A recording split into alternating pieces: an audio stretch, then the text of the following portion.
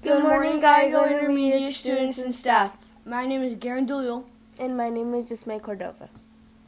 Today is Thursday, February 4th, 2016. Please stand for the pledge.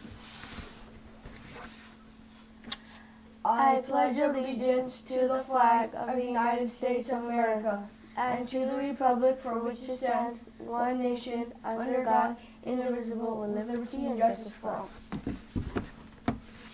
Sports. Fourth and fifth co-ed soccer tryouts start Tuesday. From on February 8th from 3:30 to 5.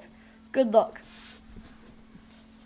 This week there will be no games, but there will be a 6th and 7th grade game against Challenger at Challenger. And next week on February 10th there will be a 6th and 7th grade against Sierra here. Let's go Wildcats.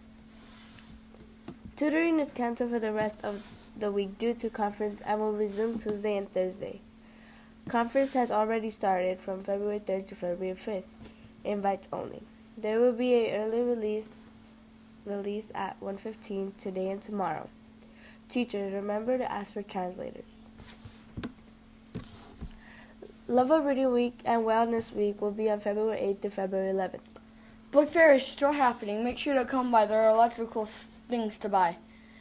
And there will be a grand opening on the library Thursday. Jump rope for heart events will start coming to campus on February 8th to February 12th. If you love to jump, come and join.